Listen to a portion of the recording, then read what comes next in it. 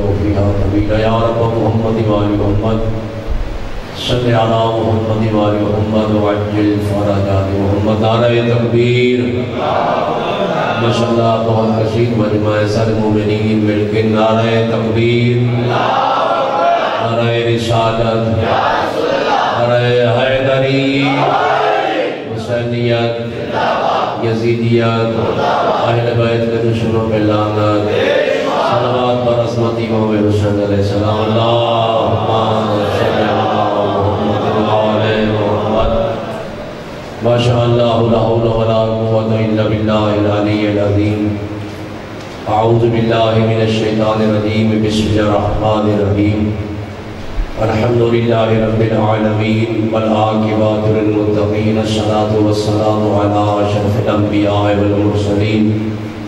मुहम्मद व हबीबिना व तबीब कुलूबिना व शफीय ज़ुनूबिना बिलका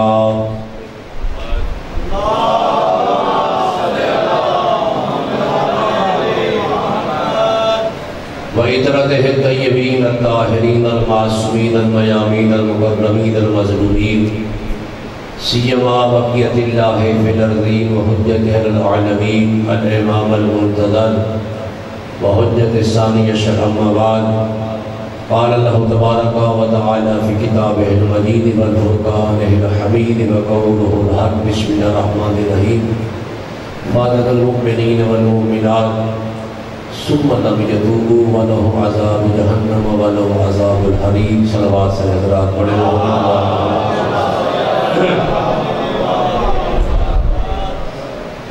अल्लाह ताला मतसत्तु मोहम्मद जुमला की तौफीकात खैर इजाफा फरमाए अल्लाह ताला हमारा यहाँ भरोसा देना, इबादत में शुमार फरमाए, जो मोमिन बीमार है, खुदा शिफा कुल्ली फरमाए। जो मकरूज हैं अल्लाह कर्ज की अदायगी के वसाइल मुहैया फरमाए। मजलिस की कबूलियत के लिए वो आवाज़ बुलंद, सलवात।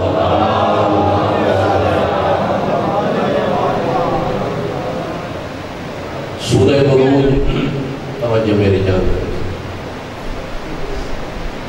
अजादारी हुसैन अलैहिस्सलाम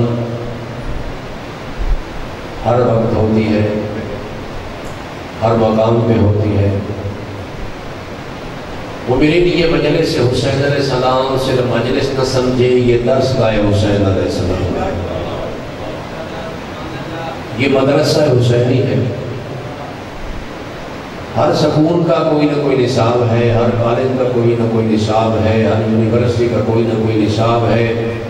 इस मदरसा हुसैनी का निसाब है कुरान मजीद। ये दर्स हिदायत है, ये बाब शिफात है। यही वजह है कि मोमिनीन हमारा कोई जाकिर हमारा कोई आलम जब यहाँ मिंबर पे आता है तो वो ज़्यादा कुरान नहीं पढ़ता, एक कुरान की आयत पढ़ता है, उसकी तशरी करता है, उसकी तफसीर करता है। वजह क्यों है? वजह क्या है?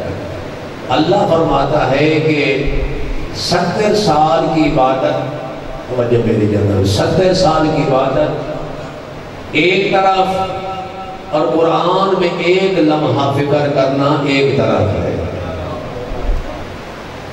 यानी गौर फ़िक्र करना कुरान पाक में।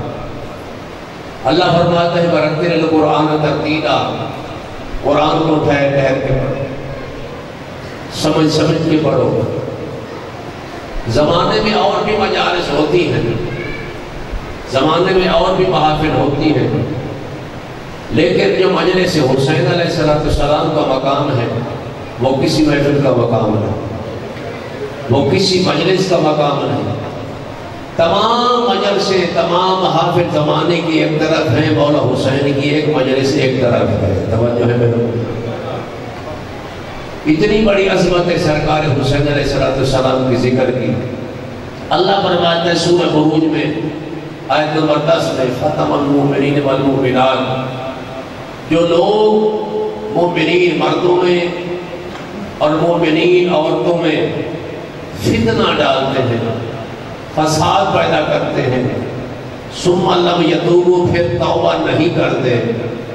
अब उसकी अल्लाह ने सजा क्या बताई? जो फसादी है, जो फसाद बनाने वाला है, जो मोमिन को लड़ाने वाला है। सुमान लम यतूम अल्लाह फरमाता, फिर वो तौबा नहीं करते। वाला अजाब जहन्नम, अल्लाह फरमाता एक तो उसके लिए जहन्नम का अजाब है वाला अजाब फिर उस अजाब से भी ज़्यादा अजाब अल्लाह ने तैयार कर रखा। और फिर इससे अगली आयत ग्यारहवीं में अल्लाह ने फरमाया, वल्लजीन आमन जो मोमिन नेक अमल करते हैं, मोमिन भी हैं और नेक अमल भी करते हैं तो अल्लाह फरमाता है कि उनके लिए जन्नतें हैं। जिनके नीचे नहरें जारी हैं। तो मोमिन जो फसादी हो, जो फितना पैदा करे वो मोमिन में, ये फितना पैदा कहाँ से हुआ? सबसे फितना कहाँ से पैदा हुआ? इसका सबसे बड़ा मुजिद है शैतान। जब अल्लाह ने फरमाया कि मैं ज़मीन में खलीफा बना रहा हूँ इन से खलीफा। ज़मीन में खलीफा बनाने वाला हो जब मैं उसमें रूप हूँ तो तुम सब के सब उसे सजदा करना। मोमिन जब जनाब आदम सलाम को बनाया गया, जब अल्लाह ने फरमाया कि मैं ज़मीन में खलीफा बना रहा हूँ, फरिश्तों ने इतराज़ कर दिया खालिक उसे बना रहा है, जो ज़मीन पर फसाद करेगा, खून रेजी करेगा। अल्लाह ने फरमाया कि आलम जो मैं जानता हूँ वो तुम नहीं जानते। अब फरिश्ते थे। उन्होंने कहा सुहाना अल्लाह ना खालिक, हमें तो इतना इल्म है जितना तूने अदा किया। हम इससे ज़्यादा नहीं जानते। तो अल्लाह ने फरमाया कि अगर तुम? इन्होंने कहा कि अगर खालिक को खलीफा बनाना है तो हम में से कोई बना। अल्लाह ने फरमाया, चलो तुम इसे खलीफा बना देता हूँ, लेकिन कुछ नाम अल्लाह ने उनके सामने रखे फरमाए, नामों को पहचानो। उन्होंने कहा, खालिद, हम तो इससे है। तो अल्लाह ने जनाब हज़रत आदम सलाम के सामने नाम रखे। तो आदम से पूछा कि, आदम नामों को जानते हो? तो हज़रत आदम सलाम फरमाते, खालिद, ये मोहम्मद मुस्तफ़ा है। ये जनाब अली मुर्तदा है। ये जनाब सैदा है। ये जनाब इमाम हसन है। ये जनाब इमाम हुसैन है। जो ही नाम बताए अल्लाह ने फरमाया तमाम फरिश्तों से इसे सजदा करो। आदम पंचन पाक का मानने वाला है। जनाब आदम सलाम को तमाम ने सजदा किया। इबलीस ने कहा खालिक मैं इसे सजदा नहीं करूँ। तूने इसे मट्टी से बनाया और मैं आग से बना। मट्टी जो है पास है। तवज्जो आग ज़्यादा उससे फजीलत में है। तो अल्लाह ने फरमाया कि तूने सजदा क्यों नहीं किया? खालिक ये पास है।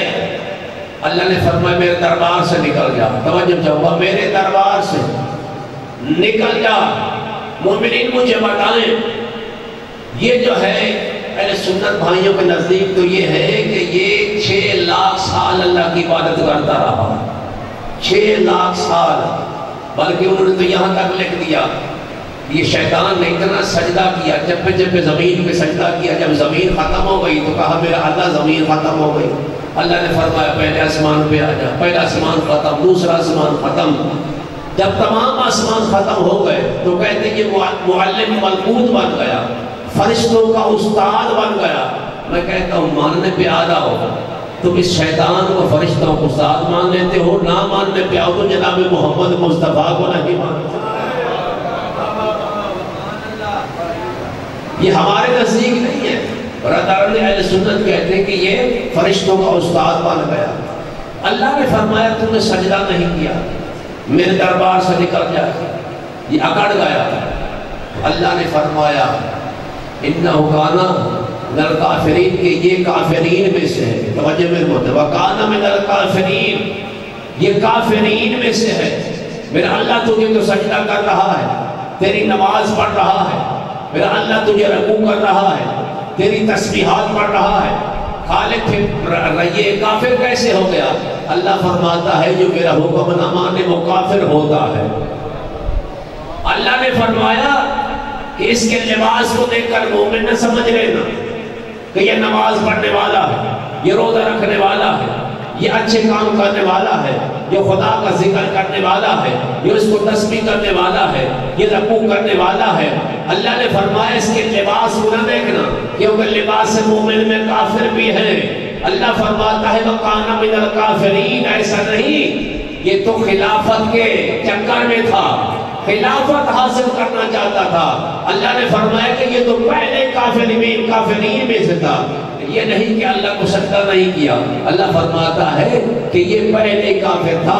अब ये पैसे पता कैसे चला कि ये काफिर है? जब अल्लाह ने फरमाया कि सजना सब के सब कर लो तो ये शैतान अकड़ गया इसकी, ये काफरियत सामने आ गई। तो मैंने मोहतरम सामीन, सबसे पहला फितना जो है, ये शैतान ने शुरू किया। अब अल्लाह फरमाता है कि ये फितना फसाद करे मोमिन मिलाद में।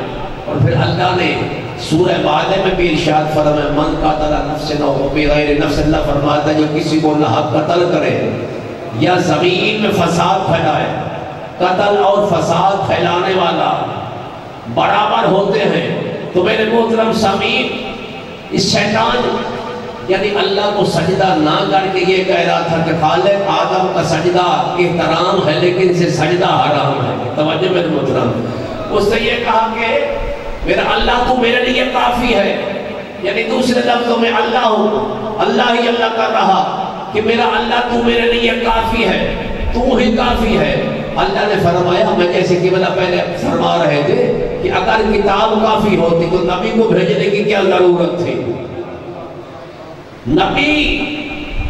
किताब न नबी की ज़िंदगी में काफ़ी हो सकी, न बाद में काफ़ी हो सकेगी क्योंकि अल्लाह खुद फरमाता और किताब हमने किताब का वारिस उनको बनाया है जिन्हें मैंने चुना है।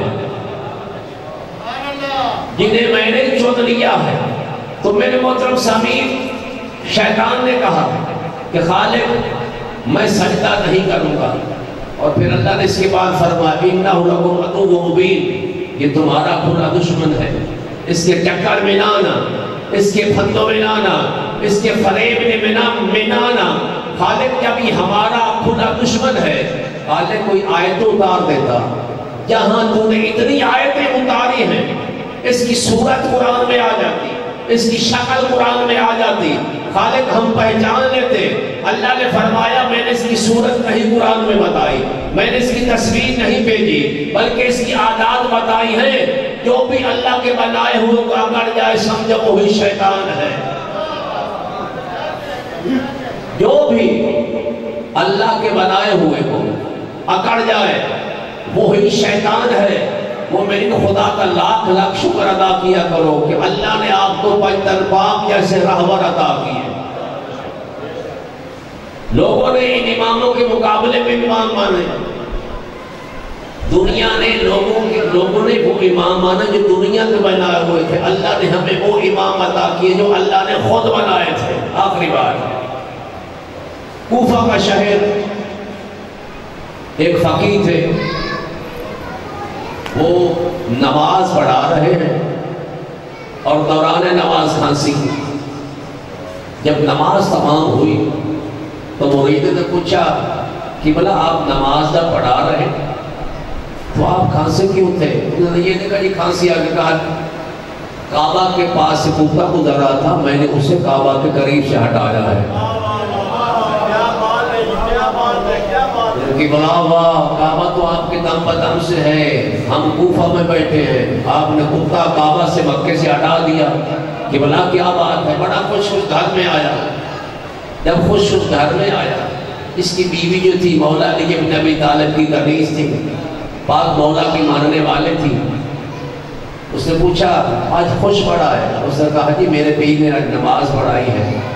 और मेरे इमाम ने नमाज़ पढ़ा के कुत्ता वहाँ से गुजरा था मक्के में, मेरे पीर ने हटाया। तो वो कहती अच्छा आपके पीर इतनी करामत वाला। जी तो कहती कि अच्छा ये कहता है अच्छा आज मान गई है ना मेरे पीर को? उसने कहा, जी, मान नहीं गई हूँ, मैं तो खिदमत भी करना चाहती हूँ। मेरे घर में तो उसे ले आए। मोमिन मोमिन मोमिन के लिए मौला फरमाते इसके पास हिकमत का हथियार होता है। जो ना कुछ कह के कह जाए उसे मोमिन कहते हैं। उसे घर में आए।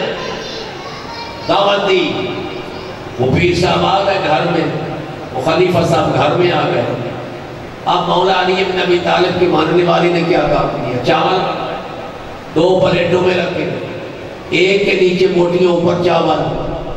और एक के ऊपर नीचे चाप बोटियाँ ऊपर चावल। यानी उल्ट कर दिया, एक के नीचे बोटियाँ ऊपर चावल, और दूसरे को नीचे चावल ऊपर बोटियाँ रख दी।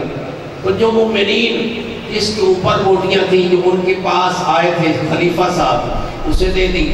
और जो वो पीर साहब थे, उन्हें वो प्लेट दी, जिसके ऊपर चावल नज़र आ रहे थे बोटियाँ नज़र नहीं आ रही थी। तो खलीफा साहब ने कहा कि मतलब आप खाए शुरू करें? उन्होंने कहा, नहीं। थोड़ी देर रुक जाए जाए घर वालों से पता करके आए कौन सी प्लेट मेरी है। तो अंदर से आवाज़ आई पीर साहब, यही प्लेट आपकी है। तो गुस्से में उठ खड़े हुए। कहा यह कैसे हो सकता है आपको बेटी बोटियाँ मिल जाए? मुझे बोटियाँ ना मिले? उन्होंने कहा कि जनाब की मानने वाली ने कहा पीर साहब, जरा हाथ तो मारे। अब जब चावल हटाए, नीचे से बोटियाँ नज़र आई तो ये शोहर इसका घर आया कहती तेरा पीर तो जहनमी है। मैं तुझे जहन्नम से बचाना चाहती हूँ। इसे चावल के नीचे मोटी नज़र ना है उसे कुत्ता कैसे नज़र आ गया।